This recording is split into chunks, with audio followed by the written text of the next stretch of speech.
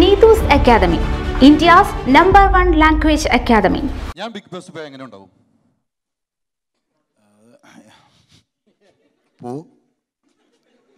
എങ്ങനെ? പോ. ഞാൻ കഴിഞ്ഞ നാലാം സീസണിൽ ബിഗ് ബോസിലേക്ക് എനിക്ക് ക്ഷണം വന്ന് രണ്ട് പ്രാവശ്യം മീറ്റിംഗ് കഴിഞ്ഞ്. എന്തോ മുൻജന്മത്തിൽ ചെയ്ത സുഹൃത്തത്തിന്റെ ഫലമായിട്ടാ പോകാഞ്ഞത് തീർച്ചയായിട്ടും തീർച്ചയായിട്ടും. പോയിരുന്നെങ്കിൽ തിരിച്ചറിഞ്ഞേനെ ജനത. ഇറങ്ങില്ലായിരുന്നു. തിരിച്ചറിഞ്ഞേനെ. തിരിച്ച് അറിഞ്ഞേനെന്ന്. എന്റെ സ്വഭാവം. ആ പിന്നെ അല്ലേ അപ്പം അത്ര റിസ്ക് ആണ് അല്ലേ? റിസ്ക് ഉണ്ട് റിസ്ക് റിസ്ക് എടുത്ത് അങ്ങനെയാണ് റിസ്ക് ആണെങ്കിലേ രണ്ടുമൂന്ന് പേരോട് എനിക്ക് ബിഗ് ബോസിൽ പോകാൻ തയ്യാറെടുത്ത് അജ്മൽ ഖാന്റെ അടുത്ത് ആദ്യത്തെ ചോദ്യം. അജ്മൽ ഖാൻ ബിഗ് ബോസിലേക്ക് കിട്ടിയാൽ പോകുമോ? എനിക്ക് കഴിഞ്ഞ വട്ടം ഉമർക്ക് പറഞ്ഞിട്ട് കിട്ടിണ്ടായിരുന്നു രണ്ടാമത്തെ വട്ടം. പക്ഷെ ഞാൻ പോയിണ്ടായിരുന്നില്ല. കാരണം എന്താ വെച്ചാൽ ഈ പറഞ്ഞ പോലെ അവിടെ എത്തുമ്പോൾ നമ്മൾ കുറേ കാര്യങ്ങൾ നോക്കാനും പറയാനുണ്ട്. ഇപ്പൊ ഒരു സമയത്ത് നമ്മൾ ഇത്രയധികം ആക്കി വെച്ച് ഇനി അതിന്റെ ഉള്ളിൽ പോയിട്ട് തിരിച്ചു വരുമ്പോൾ പിന്നെ തെറി കേൾക്കുമെന്നൊക്കെ ആലോചിച്ച് അപ്പൊ അതിന് അതുകൊണ്ട് ഞാൻ പോയിട്ടില്ല ഇതുവരെ. ഇനി കിട്ടിയാ പോകുമോ അറിയില്ല ഇൻഷാല്ല നോക്കാം. ശ്രമം ഉണ്ടോ ശ്രമിക്കണം ശ്രമിക്കണം. ശ്രമിക്കണം. പോകില്ല എന്ന് പറഞ്ഞിട്ടില്ല. അതെ. അടുത്ത തവണ നമുക്ക് പ്രതീക്ഷിക്കാം അല്ലേ? നോക്കാം ഇതൊക്കെ ഒന്ന് വിചാരിക്കുക ഡോക്ടർ ബിഗ് ബോസ് കാണാറുണ്ടോ? ചില സമയങ്ങളുണ്ട് ബിഗ് ബോസ് കാണുമ്പം എന്താണ് തോന്നാറ്? ഡീറ്റെയിൽ ആയിട്ട് അറിയില്ല. ബട്ട് ദെൻ ഓരോ ഓരോരുത്തരുടെ ടാലന്റും വെളിയിലേക്ക് കൊണ്ടുവരിക. അവരുടെ ആ, ക്ഷമയും ആറ്റിറ്റ്യൂഡും പിന്നെ പ്രസൻസ് ഓഫ് മൈൻഡിൽ അവർ അത്രയും പെർഫോം ചെയ്തിട്ട് വരുന്നത്. ഇതൊക്കെയാണ് ഞാൻ ഓവറാൾ കണ്ടത്. മനസ്സിലാകുന്നുണ്ടോ I think that as a value അപ്പം ഇപ്പോൾ ഇപ്പോൾ മക്കിലെ പോലുള്ള ആൾ അവിടെ പോയപ്പോൾ അദ്ദേഹം നേരത്തെ കഴിവുള്ള മനുഷ്യനാണ്. അദ്ദേഹത്തിന് ആൾക്കാർ അറിയുന്നുണ്ടെങ്കിൽ പോലും ഇത്ര അറിയില്ല. അതിനൊരു വേദിയായില്ലേ? So it's it's it has given a definitely ഒരു പബ്ലിക് ഫിഗറാക്കി കൊണ്ടുവരാനുള്ള ഒരു സാഹചര്യമുണ്ട്. അപ്പോൾ ആ കണ്ടന്റ് ആയിരിക്കും അവിടെ ബിഹേവ് ചെയ്ത മാറ്റർ ആയിരിക്കും. ഈ കണ്ടന്റും ബിഹേവിയറും അയാളത്ത് ഉള്ള സാധനമാണ്. അത് വെളിയിൽ കൊണ്ടുവരാൻ ബിഗ് ബോസ് പോലത്തെ ഒരു സംഭവം ഉപകാരപ്പെട്ടെന്നുള്ളതാണ് it's one of the good media തീർച്ചയാണ് അത് കൃത്യമായ മറുപടിയാണ്. ഇനിയുമുണ്ട് ഇവിടെ സോഷ്യൽ മീഡിയയിലൊക്കെ ആക്റ്റീവാണ് എഴുന്നേറ്റേക്കാം ബിഗ് ബോസിലേക്ക് പോകാൻ റെഡിയായി നിൽക്കുന്നതാണ്. മൂന്ന് പ്രാവശ്യം നോക്കിയെന്നാണ് എനിക്ക് അറിയില്ലാത്ത ഞാൻ ചുമ്മാ പറഞ്ഞതാണ് കേട്ടോ. കഴിഞ്ഞ പ്രാവശ്യം ഇതേപോലെ ഉമർക്ക വിളിച്ചിട്ടുണ്ടായിരുന്നു. ബിഗ് ബോസ് ഉമർ മൊത്തം കൊട്ടേഷൻ എടുത്തോക്കാല്ലോ ഇവിടെ? ആരാ ഉമറോ? ഉമർ മൊത്തം കൊട്ടേഷൻ എടുത്തോ ബിഗ് ഉമർ ബോസ് എന്നിട്ട് അവിടെ വന്നിട്ട് രണ്ടാമത്തെ ദിവസം എന്റെ പൊന്നമ്പാട്ടി ഞാൻ ഇറങ്ങി പോവാന്ന് പറഞ്ഞു. അപ്പൊ ഉമർക്കായിട്ട് ഞാൻ പറഞ്ഞു പെട്ടെന്നായതുകൊണ്ട് എന്താ പ്രിപ്പയർഡ് ഒന്നും ആയിരുന്നില്ലല്ലോ. അപ്പൊ അവിടെ നമുക്ക് കോൾ വന്നിട്ടുണ്ടായിരുന്നു ബിഗ് ബോസ് നിങ്ങൾ അതേ സെയിം സീസൺ ആയിരുന്നു. പിന്നെ എന്താ പറയണ്ടേ? എന്റെ ഉമർക്ക് പറഞ്ഞത് നീ ബിഗ് ബോസ് പോയി കഴിഞ്ഞാൽ ആക്ച്വലി എന്റെ നല്ല സ്വഭാവമാണ്. അപ്പൊ കൂടുതൽ ഫാൻസ് ഉണ്ടാവും എന്നൊക്കെ പറഞ്ഞത്. ഇപ്പൊ കുറച്ച് ഹേറ്റേഴ്സ് ഉണ്ട് എനിക്ക്. ലൈക്ക് കുറച്ച് നെഗറ്റീവ് കമന്റ്സ് ഒക്കെ ഉണ്ട്. അപ്പോൾ നമ്മൾ ജെനുവിൻ ആയിട്ട് ആ ഒരു ബിഗ് ബോസ് ഇപ്പോൾ അഖിൽമാർ പറഞ്ഞാൽ ആദ്യം എല്ലാവർക്കും വരുമ്പോൾ എനിക്കും ഉണ്ടായിരുന്നു. മൈൻഡിൽ ഭയങ്കര ഒരു വില്ലൻ ക്യാരക്ടർ ആയിരുന്നു. പക്ഷെങ്കിൽ നമ്മൾ കാണും തോറും നമുക്ക് ഇഷ്ടം കൂടിക്കൂടി കൂടി വരിക ചെയ്തത്. അതേപോലെ ലൈക്ക് എന്നെ ഇഷ്ടപ്പെടുന്ന എനിക്കറിയില്ല. അടുത്തറിഞ്ഞ ആൾക്കാർ നല്ലത് പറയലുണ്ട്. പക്ഷെ പബ്ലിക് പ്ലാറ്റ്ഫോമിൽ എനിക്ക് ഒത്തിരി നെഗറ്റീവ്സ് വരാറുണ്ട്. ഉമർക്ക് കാരണം നീ ബിഗ് ബേസ് പോയി കഴിഞ്ഞാൽ അതെല്ലാവരും മാറ്റി പറയും. നീ എന്തായാലും പോകണം എന്ന് പറഞ്ഞു. പക്ഷെ ആ ഒരു ടൈമിൽ ഞാൻ പ്രിപ്പയർഡ് ആയിരുന്നില്ല. അതുകൊണ്ട് പിന്നെ എന്റെ ക്രീമിന്റെ ബിസിനസ് ഒക്കെ ഡൗൺ ആയി പോകുന്നുള്ള പേടിയൊക്കെ ഉണ്ടായിരുന്നു. അല്ല നെഗറ്റീവ് കമന്റിനെ കുറിച്ച് പറയുകയാണെങ്കിലോ ഞാനൊരു ഇന്റർവ്യൂ എടുത്തായിരുന്നു.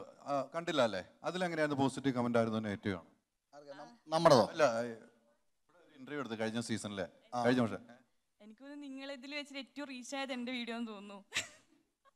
അതിൽ പക്ഷെ നെഗറ്റീവ് എനിക്കല്ല വന്നത്. മൊത്തം ഇയാൾക്കാ വന്നത്. ആ. പാവത്തിനെ മാക്സിമം ചൂന്ന് എടുക്കാന്ന് പറഞ്ഞിട്ട് നിങ്ങൾക്ക് നെഗറ്റീവ് കമന്റ് വന്നത്. അപ്പൊ നെഗറ്റീവ് കമന്റ് ഒരു പ്രശ്നമാണോ?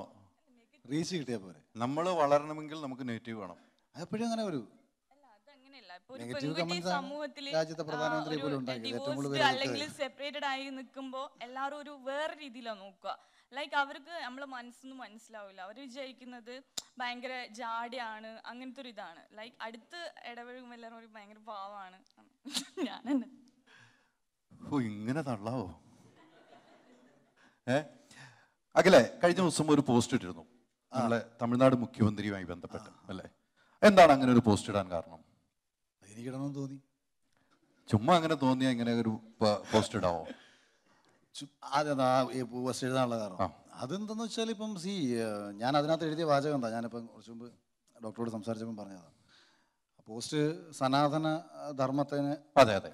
എന്താണ് പുള്ളി പറഞ്ഞത് കാട്ടി സ്റ്റാലിന്റെ സ്റ്റേറ്റ്മെന്റ് എന്തായിരുന്നു? നല്ലൊരു തമിഴിൽ നല്ലൊരു സ്റ്റേറ്റ്മെന്റ് ഇന്നലെയൊക്കെ ചർച്ച ചെയ്യപ്പെട്ടു കഴിഞ്ഞ അല്ല അത് അല്ല അത് ഞാനത് ചുമ്മാ കൗണ്ടർ ചോദിച്ചല്ല ഞാൻ പെട്ടെന്ന് മറന്നു ഞാൻ കറക്റ്റ് വാചകം എന്താന്ന് പറഞ്ഞു എതിർത്ത് കാട്ടിൽ പെടുത്തണം നശിപ്പിച്ചണം അങ്ങനെ എന്തോ നശിപ്പിച്ച്. കളയണം. ആ ഓക്കെ ആ രീതിക്കാണ് പറഞ്ഞത്. അതെ അത്. അതായത് ഈ ഇപ്പം നമ്മുടെ രാജ്യം ബേസിക്കലി ദരിദ്രരുടെയും കർഷകരുടെയും രാജ്യമായിരുന്നു. ഞാൻ എഴുതിയ സ്റ്റേറ്റ്മെന്റ് കേട്ടോ. അപ്പം അങ്ങനെ ഒരു രാജ്യത്ത് ഏറ്റവും കൂടുതൽ വളരേണ്ട ആശയമായിരുന്നു കമ്മ്യൂണിസം. അല്ലേ?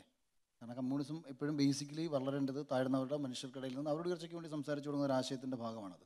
അപ്പോൾ അങ്ങനെ ദരിദ്രരും കർഷകരും മാത്രമുള്ള ഒരു രാജ്യത്ത് എന്തുകൊണ്ട് കമ്മ്യൂണിസം വളർന്നില്ല? പതിർ പാഞ്ചാലി എന്ന് പറയുന്ന ഒരു സിനിമ ലോകം മുഴുവൻ ചർച്ച ചെയ്യപ്പെട്ടത് ഇന്ത്യയുടെ ദാരിദ്ര്യത്തെ ബേസ് ചെയ്തിട്ടാണ് ചർച്ച ചെയ്തത്. അപ്പോൾ ഈ ആശയം വളരാൻ കഴിയാതെ പോയത് നമ്മുടെ രാജ്യത്തിന്റെ ഒരു കൾച്ചറുണ്ട് രാജ്യത്തിനൊരു സംസ്കാരമുണ്ട്. അതെന്ത് ആയിക്കോട്ടെ മതത്തിൽ അധിഷ്ഠിതമായ രാജ്യമല്ല മതമൊക്കെ പിന്നീട് സൃഷ്ടിച്ചതാണ് രാജ്യത്തിനൊരു സംസ്കാരമുണ്ട്. ആ സംസ്കാരത്തെ മനസ്സിലാക്കാൻ കഴിയാതെ പോയതാണ് ഞങ്ങളുടെ പരാജയമെന്ന് പറഞ്ഞത് പന്യൻ രവീന്ദ്രൻ കൂടിയാണ്. പന്യൻ ഇതൊരു ഇന്റർവ്യൂവിൽ പറഞ്ഞിട്ടുണ്ട്. അത് ഞാനൊന്ന് സൂചിപ്പിക്കുകയാണ് ചെയ്തത്. അതായത് ഇവിടെ ഉദയനിധി സ്റ്റാലിൻ ഇങ്ങനൊരു കാര്യം എടുത്ത് നശിപ്പിച്ച് കളണം ഇതെടുത്ത് കാറ്റിൽ പറത്തണമെന്ന് പറയുമ്പോൾ കേവലം ഒരു രാഷ്ട്രീയ പാർട്ടി അല്ലെങ്കിൽ രാജ്യം ഭരിക്കുന്ന രാഷ്ട്രീയ പാർട്ടി എതിർക്കാൻ വേണ്ടിയിട്ട് ആവരുത് എതിർത്ത് യൂസ് ചെയ്യേണ്ടത്. ഇതിപ്പം ഞാൻ ഞാൻ എന്റെ സിനിമയിൽ എഴുതിയിട്ടുണ്ട് ഭാരത് മാതാ കി ജയ് എന്ന്. ബി ജെ പിക്കാർ വിളിക്കേണ്ട കാര്യം എന്താണ്? എന്തുകൊണ്ട് കോൺഗ്രസ്സുകാരനെ വിളിച്ചുകൂടാ? എന്തുകൊണ്ട് കമ്മ്യൂണിസ്റ്റുകാരനെ വിളിച്ചുകൂടാ? പോലീസ് സ്റ്റേഷന്റെ ഫ്രണ്ടിൽ പോയിട്ട് ഭാരത് മാതാ കി ജയ് എന്ന് ചെയ്യുന്ന ഇവർ സമരം വിളിക്കുമ്പോൾ അകത്തുനിന്നിറങ്ങി എസ് ഐ വന്നിട്ട് പറയുക ഭാരത് മാതാ കി ചെയ്യുന്നു. എന്താ അയാൾക്ക് വിളിച്ചൂടെ? അപ്പോൾ ഇത് രാജ്യമല്ലേ? നമ്മളൊരു രാജ്യത്തിന്റെ ഭാഗമല്ലേ? നമ്മളെ പുറത്ത് റെപ്രസെന്റ് ചെയ്യുന്നത് നമ്മൾ ഭാരതീയരെന്നോ അല്ലെങ്കിൽ ഇന്ത്യക്കാരെന്നോ പറഞ്ഞിട്ടല്ലേ? അത്ര മാത്രമേ ഉദ്ദേശിച്ചിട്ടുള്ളൂ അതിനകത്ത്. പിന്നെ ഇതിനകത്ത് ഇപ്പം ഞാനങ്ങനെ ഉദയനിധി സ്റ്റാലിന്റെ ഒരു സ്റ്റേറ്റ്മെന്റിൽ ഇപ്പം ഇടതുപക്ഷത്തെ ഇടതുപക്ഷത്തെ അങ്ങനെ പരിഹസിച്ചല്ല ആക്ച്വലി അത്. അവരൊരിക്കൽ തിരിച്ചറിയാതെ പോയതും അവർക്ക് വളരാൻ കഴിയാതെ പോയതും ഇന്നൊരു കാരണം കൊണ്ടായിരുന്നു എന്ന് സൂചിപ്പിച്ചതാണ്. കണ്ടം വഴി ഓടും എന്ന് പറഞ്ഞിരുന്നു. അതെന്താണെന്നറിയാവോ അത് ഞാൻ സൂചി അതിനകത്ത് ഒരു വരിയും കൂടെ ഞാൻ എഴുതി. ഇന്ന് കേരളത്തിൽ ഭരിക്കുന്നത് ഇടത് ആശയമല്ല. ലെഫ്റ്റ് ആശയവുമായിട്ട് ഒരു ബന്ധവുമില്ല സി പി എം എന്ന് പറയുന്ന പൊളിറ്റിക്കൽ പാർട്ടി. വെറും ഒരു കോർപ്പറേറ്റ് പൊളിറ്റിക്കൽ പാർട്ടിയാണ്. ബി ജെ പി ഒരു കോർപ്പറേറ്റ് പൊളിറ്റിക്കൽ പാർട്ടിയാണ്. കോൺഗ്രസും ഒരു കോർപ്പറേറ്റ് ഈ ഒരു കോർപ്പ അതായത് ഒരു ഒരു ബിസിനസ് എങ്ങനെ മുന്നോട്ട് കൊണ്ടുപോകുന്ന നിലനിൽപ്പാണ് എല്ലാ രാഷ്ട്രീയ പാർട്ടികളുടെയും ലക്ഷ്യം ജനനന്മയാണ് അല്ലേ? എല്ലാവരും അതാണല്ലോ പറഞ്ഞത്? ജനങ്ങളുടെ നന്മയാണ് അവരുടെ ലക്ഷ്യം. ജനങ്ങളുടെ നന്മയാണെങ്കിൽ എന്തിനാണ് ഈ നമ്മുടെ രാജ്യത്ത് ഇത്രയും രാഷ്ട്രീയ പാർട്ടി ഒറ്റ പാർട്ടി പോരെ? ഒരു- ഒരു ഒരാശയം പോരെ. അവർക്ക് ഒറ്റ ആശയം. പക്ഷെ അതല്ല അവരുടെ നന്മയാണ് അവരുടെ ലക്ഷ്യം. അവരുടെ നന്മ അവരുടെ ലക്ഷ്യമായതുകൊണ്ട് അവരുടെ ആശയത്തിലൂടെ അവരുടെ നന്മ നടപ്പിലാക്കാൻ ഇതിന്റെ ഭാഗമായി വരാൻ ആൾക്കാരെ അവർ വിളിച്ചു കൂട്ടുകയാണ്. അപ്പോൾ ഇവിടെ ഇപ്പോൾ കമ്മ്യൂണിസ്റ്റ് പാർട്ടിയാണെന്ന് പറയരുത്. കമ്മ്യൂണിസം എന്ന് പറയുന്ന വാക്ക് പേര് മാത്രമാണ്. അത് ബി ജെ പിയുമായി യാതൊരു ബന്ധവും ഞാൻ കാണുന്നില്ല. അവിടെ ഞാൻ ചോദിച്ചത് എന്നോട് തർക്കിക്കാൻ ഏത് ഇടതുപക്ഷ നേതാവ് വന്നാലും ഞാൻ ചോദിക്കുന്ന ചോദ്യങ്ങൾക്ക് ഉത്തരം അവർക്ക് പറയാൻ കഴിയില്ല. കാര്യം മാവോയിസ്റ്റുകളെ വെടിവെച്ച് കൊല്ലുന്ന കമ്മ്യൂണിസ്റ്റ് ആശയമല്ല. ബി ജെ പിക്കാരനത് ചെയ്യാം. ലഘുലേഖ കൈവശം വെച്ചതിന്റെ പേരിൽ കുട്ടികളെ പിടിച്ചിട്ട് യു എ പി എ ചുമത്തി അകത്തിടുമ്പോൾ പ്രതിഷേധിക്കാൻ കഴിയാതെ പോകുന്നത് കമ്മ്യൂണിസ്റ്റ് ആശയമല്ല. സ്ഥിതി സമത്വവാദം എന്നാണ് കമ്മ്യൂണിസ്റ്റ് പാർട്ടിയെ കുറിച്ച് സ്ഥിതി സമത്വവാദമാണ് കമ്മ്യൂണിസം. തുൽ ഉൽപ്പന്നങ്ങൾ തുല്യമായി മനുഷ്യരുടെ കയ്യിലേക്ക് എത്തിക്കുക. പിണറായി വിജയനും പാർട്ടിയുടെ ലോക്കൽ സെക്രട്ടറിയും തുല്യരാണോ? അല്ല ഇവർക്കൊരിക്കലും തുല്യരാവാൻ പറ്റില്ല. പിന്നെ തുല്യതയില്ലാതെ എന്ത് കമ്മ്യൂണിസം? അതിനെ വിമർശിച്ചാണ്. അതിപ്പോൾ നമ്മുടെ ഈ ഈ ഒരു ചർച്ചയിൽ വിശദമായിട്ട് ചർച്ചയിലിരുന്നാൽ ഞാൻ വിശദമായിട്ട് പറയാം. തോപ്പിക്കില്ല ഞാനേ ജയിക്കൂ.